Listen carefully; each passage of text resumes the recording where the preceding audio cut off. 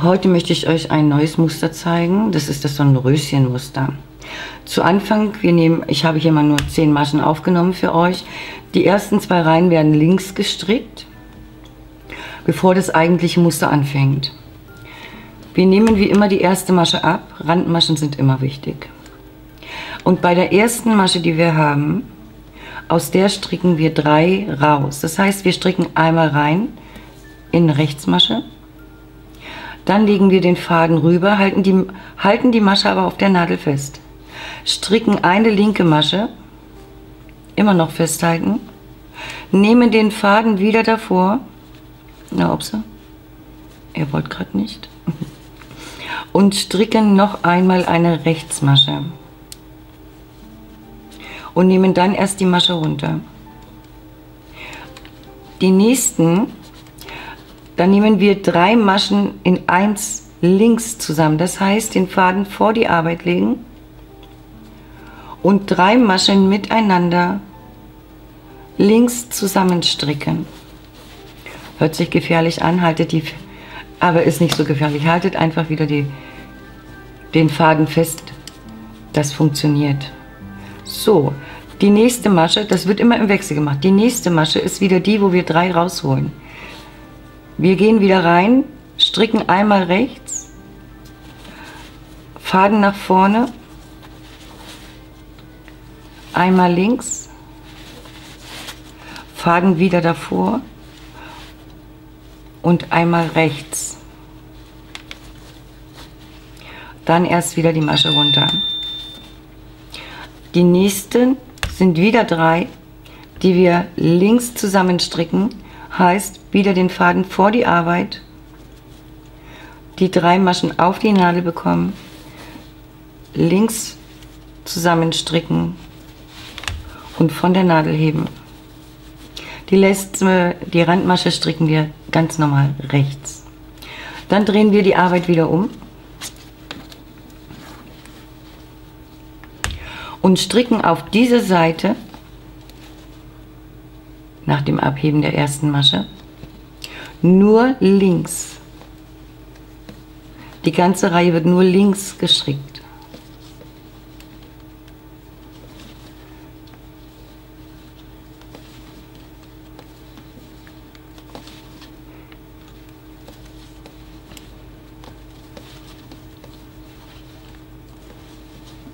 Das ist auch die Vorderseite wo wir die linke Maschen stricken. Also das Muster entsteht genau auf der entgegengesetzten Seite.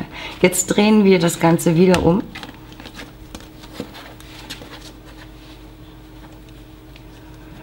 Nehmen die erste Masche wieder runter. Und da, wo wir vorhin aus einer Masche drei Maschen gemacht haben, stricken wir jetzt die drei zusammen wieder in links, dass wir den Faden wieder vor die Arbeit legen nehmen genau diese drei Maschen, die wir rausgestrickt haben, zusammen und stricken die gemeinsam runter mit einer linken Masche. Die nächste, wo wir die anderen zusammengenommen haben, da machen wir das wieder, dass wir drei rausholen. Das heißt, eine rechts, eine links, Faden wieder vor die Arbeit legen, wieder eine rechts, dass wir drei Maschen raus haben. Das nächste sind wieder die drei, die wir rausgeholt haben. Wieder den Faden davor legen. Wieder links zusammenstricken.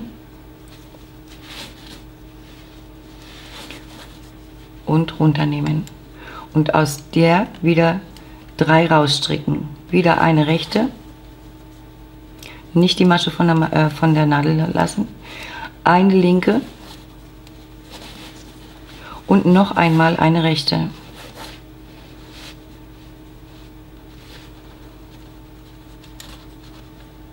Und die letzte wieder rechts. Wir drehen die Arbeit wieder um zur Vorderansicht. Nehmen wieder eine, die erste Masche runter und stricken die nächste Reihe wieder links.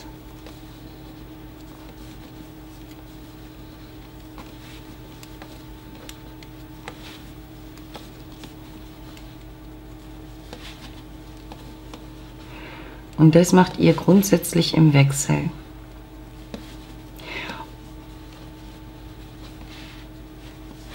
Ich zeige euch noch eine Reihe. Wir stricken die linke nochmal, damit ihr das Muster besser erkennen könnt. Wir nehmen wieder die erste runter. Und ihr seht, da sind nicht drei aus einer rausgekommen. Wir nehmen diese wieder und stricken drei Maschen raus. Einmal eine rechte, den Faden wieder vorlegen, eine linke, den Faden wieder zur anderen Seite bringen und noch eine rechte rausholen. Die nächsten drei wieder links zusammenstricken